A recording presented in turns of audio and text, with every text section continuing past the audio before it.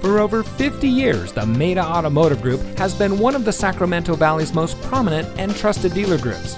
And here's another look at one of our great vehicles from our extensive inventory and comes equipped with leather wrapped steering wheel, keyless entry, alloy wheels, air conditioning, 7 speaker audio system, power driver seat, leather seat trim, and has less than 50,000 miles on the odometer.